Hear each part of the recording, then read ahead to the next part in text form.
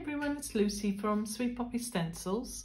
So today I thought I would show you um, a one of the techniques I didn't get to show you on our recent program on Create and Craft. Um, it's using the beautiful poinsettia bauble which was created for us by our in-house designer, our wonderful Emma Cronin. Um, we're going to be using some inks, but we're also going to be using some texture medium. Um, and we're going to be using the translucent Sweet Poppy Stencil Dimensions.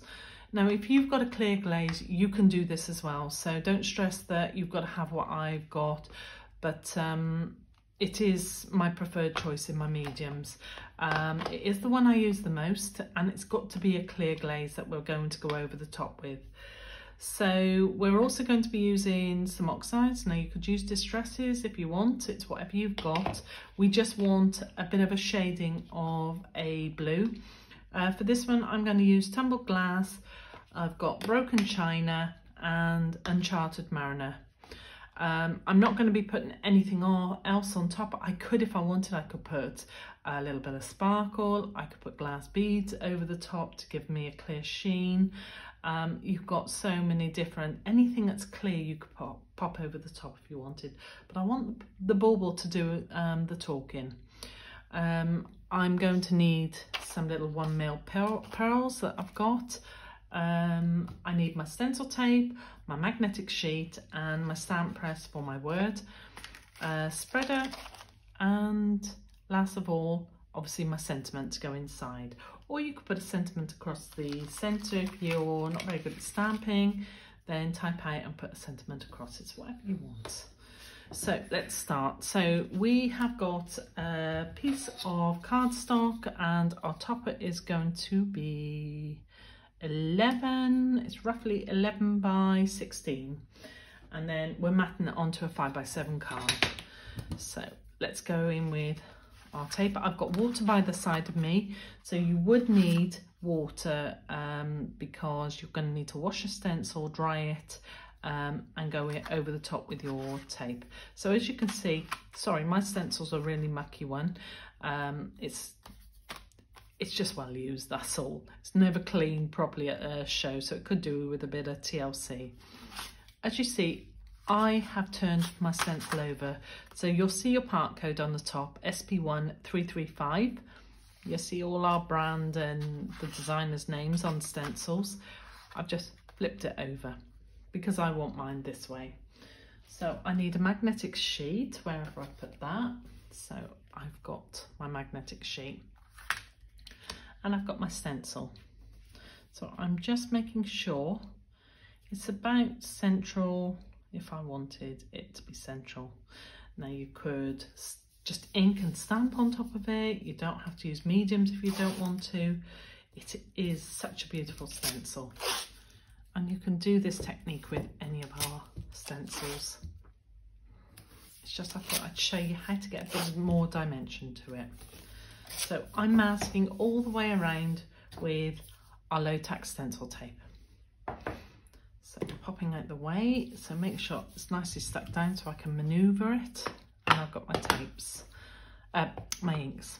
So I'm going in with my blue oxide brush, not my normal blue. So let's just check what I've got on there. And we're going to go in with light. So we're starting off, tapping off, and I'm going over and I'm just working my way down. Again, I just want a real beautiful blend. I'm not going to stress what I've got. I want slightly lighter in the middle. So more or less, you're trying to go with a bit of an ombre effect, I suppose, trying to get darker around the edges, building up to the top. So again, we're going over. And I really like this because you never get two the same, I suppose, because um, you know, inks of Laurent themselves. Um, depends where you're putting the inks, I suppose. So we're going again slightly darker.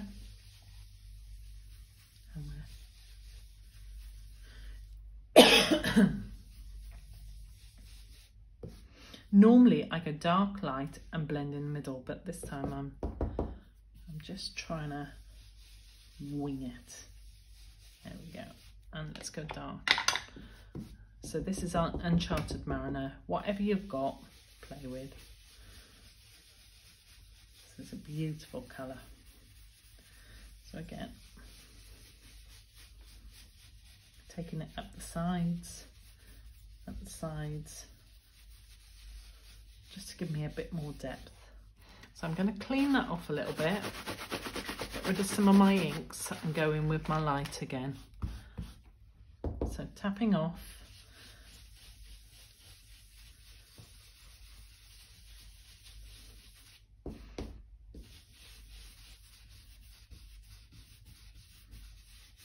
Making sure I'm getting all in the edges where my stencil is so that I know I am going to get a beautiful bauble shape on this occasion. Sometimes it's nice just to do a real soft haze of the stencils um, just to give if you're going to stamp over the top of it. I think that might be it. Let's go a little bit darker again here.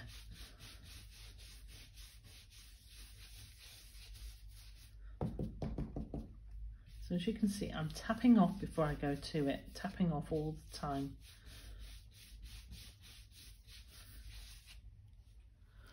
Again, clean off that dark colour, just in case. There we go. Let's see what we've got. It's a bit of card at the end of the day. So this is the important thing. You need to wash this stencil because we're going over with our mediums. So there we go. Isn't that beautiful? Such a beautiful design. So we're going lid on because we now have finished with those and pop those away, out the way. Clean up because I'm forever getting fingerprints on everything. There we go. So you would wash your stencil, dry your stencil, okay, I'm lucky I've got two, so only for quickness. So what you must do now is, without me trying to knock everything, is dry, let me get that from underneath, dry, but without uh, warping your card. Okay, just give it a quick blast because you need your ink dry. But what I don't want is I don't want my card all cockled. There we go, that'll do. Pop that to one side. There we go. So imagine you've washed, you've dried, you've now got your stencil. You now have a right and wrong way, obviously, for your stencil. So your stencil's going to go back on that way. So again, go back in, magnetic sheet. So we're going to paste the stencil now. So most important is with this stencil, is, and with all our stencils, look at where your weak points for your paste is. If we paste this way, it's going to creep under your stencil along here. So what you need to do is you need to turn your stencil around. It doesn't matter if you paste that way, that way.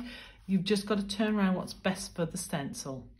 All right, so we're just going to line up our stencil. Lovely, just get it into line. Fabulous. Lovely. And I think that looks pretty straight. So I'm then going to, excuse me whilst I just make sure that I have got it everywhere where I need it to be. And then you're just going to tweak it in to shape. That's it. There we go. So we're coming this way with this stencil. Oh, what I haven't done stamp the middle. Got to stamp your middle. Come on, Lou. So let's quickly stamp a verse in. See, I'm jumping ahead of myself. Now, I couldn't stamp on top once I have my medium on um, because it would be a um, glossy surface. I suppose I could stamp on with StazOn, um, but to be quite honest, it's easier to do it all pre-medium. So we're going up, make sure we tap down. We're going in with a Versamark. Now I will have to give it a quick blast because uh, your VersaFine Clair um, stays wet longer. So make sure we're nicely stuck down. Lovely. Beautiful. So again, from the Merry and Bright set, I do love this stamp, uh, the stamp set. And I'm just gonna quickly, that's it. See, I'd have been kicking myself if I hadn't um, remembered that at the last minute. So, as we said, we're going back in. So, all that faffing before. Now we're gonna just go for it. Lovely, happy, happy. Just taking a couple of seconds just to line up. I place it down, just make sure it's not shifted or moved. So I can see there. So we're working on our magnetic sheet again. Always a magnetic sheet, never not a magnetic sheet. I think I'm quite happy with that. So we're coming this way with it and we are going in with our tape. So what we're going to do is we're going to spread our translucent medium. So nice big long, long, and again one, two, and again one and two. I think I'm still in shock. I do forget sometimes and witter on away and then realise I'm out of shot, which is so frustrating. So again, and one, two. So we're lovely masked off. We've got spreader, get my, that out the way, and pull my sleeves up so I don't get my elbows in it, and in with my medium. So I need a palette knife. So your mediums will look like they've set. Don't make the mistake of stirring them. You stir them, you make them sloppy. So use them as they are. I never stir mine up until sort of the last sort of dregs. Then I'll give it a good old stir. Um, and I tend to put lots of pots together of the same one that I have around uh, around me because I'm terrible. I'll have two or three pots going at once. So we've got our body. So you can see you've got big expanse and the reason that we start up here, we're, we're not going to over swipe it once on, once off. So we're on, up. You can see missed a bit. So you just pop it in the middle, back in. So once, twice. And then this is the last one because you'll end up taking more off. What happens is your card in the middle will start rising and as you keep swiping, you're going to keep taking off and taking off and taking off. So in the end, you end up um, throwing it away. So put once on, once off, leave it. Don't mess with it. If you find that you've got any little nicks or anything, let it dry. Once it's dry, give it a second coat or a third coat rather. So we're to take it off. I try not to keep swiping and swiping. So when it's a big expanse, remember, maximum is about two swipes, once on, once off. So we're taking off, we're always leaving one of our hinges. And then what we're gonna do is we get under there, lift off, straight off. That goes straight into water to be cleaned with um, a nail brush because they are very sharp and you will cut yourself if you use your fingers, as I've known to my expense. Now, drying time depends on the warmth of your room, okay? Um, I tend to put this in the window over a very warm radiator. It will dry a lot quicker. Try not to put heat near it because what will happen is it will bubble. So just let it naturally dry.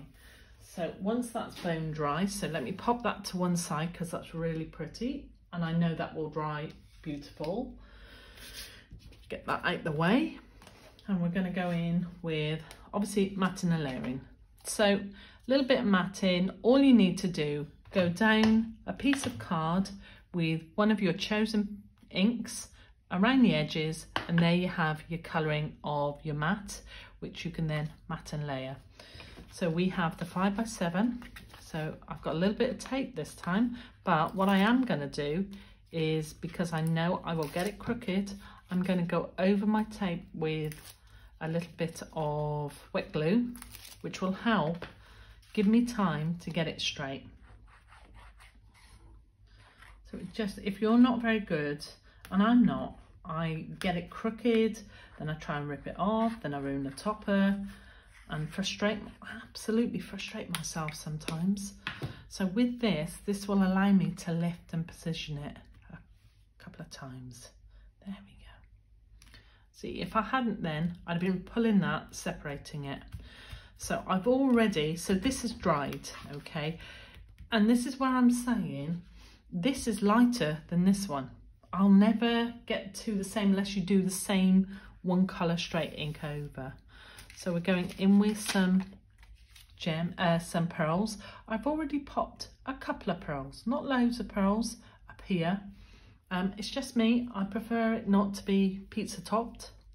And then what I'm gonna do is I just want to enhance just these little centers, just in the middle. So, and this I find is the hardest bit is getting these pearls up on your your pokey tool. They've got a long, they're a Laurentome soles. There we go. So one in the middle there, and then we just need one little one up there, and I think that might even be it then. There we go. So yeah, I'm happy with that. One, two, three, four, five, six. That's even numbers, got to be odd numbers. Um, I think we could go there. There we go. There we go. So again, beautiful card. You could batch do all your inking first and then what you could do is once your inking's done, you could then dry and start going through your tops bit by bit. There you go. I hope you enjoyed that technique. Don't forget to tune into Sweet Poppy Stencils.